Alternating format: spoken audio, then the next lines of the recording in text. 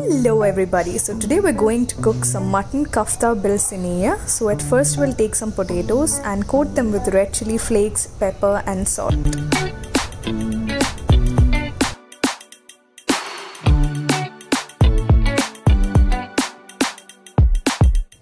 Next we'll take some eggplants and coat them with red chili flakes, pepper and salt.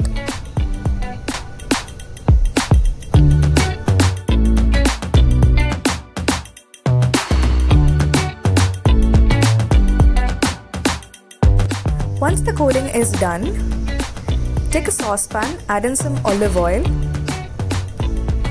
and slightly cook the potatoes as well as the eggplant on both sides. We have to cook them both until they both turn into a light brown in color.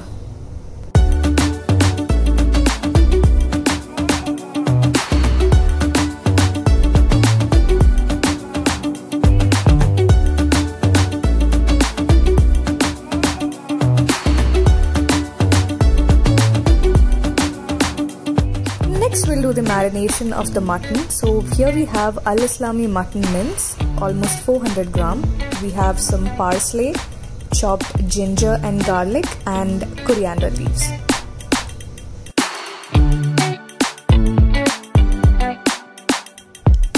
Into this we'll add pepper and red chili flakes almost 2 teaspoons, 1 teaspoon of garam masala, 1 teaspoon of cumin powder, some salt.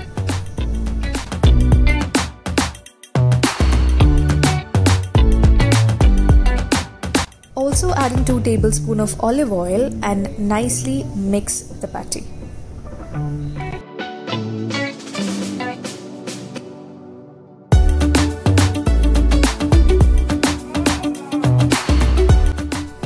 Next we'll make the tomato sauce. For this we need 2 cubes of chicken stock, 1 tablespoon of chili powder,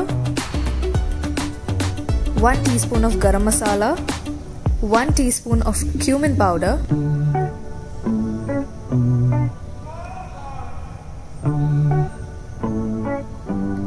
almost 4 tablespoon of tomato puree,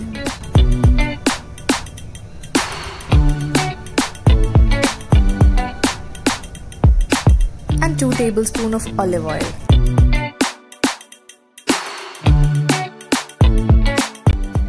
This mixture, we'll add in 1.5 cup of warm water.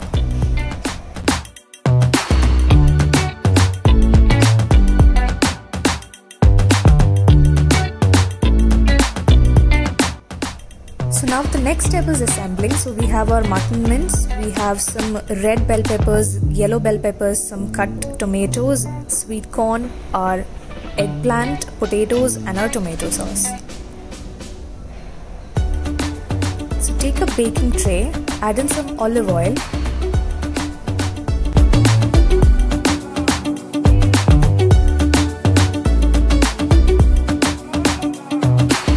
So we'll add a first layer that is a mutton mince. What I personally felt is that it would be better if instead of layering, you could make the mutton mince into patties and then place everything. So one of the mistake that I did in this dish is that I layered everything and I layered it very thickly so it was difficult for the sauce to reach into the mutton. Apart from that everything was good. The next layer is of the eggplant.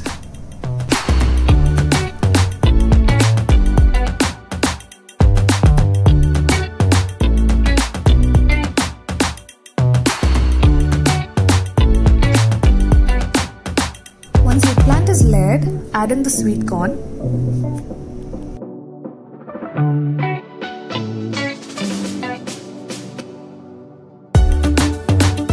The fourth layer would be of the cut potatoes or the cooked potatoes.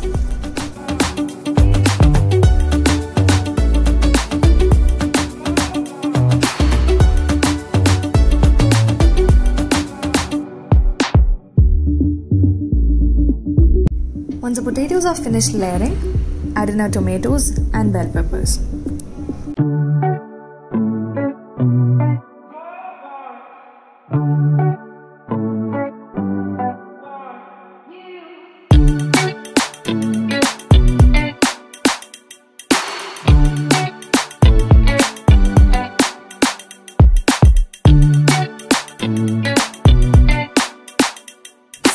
Last and final step is to add in the tomato sauce.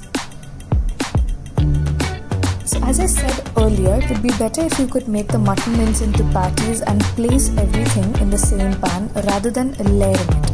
In that way, the sauce will be able to get absorbed into the veggies as well as the mutton much better.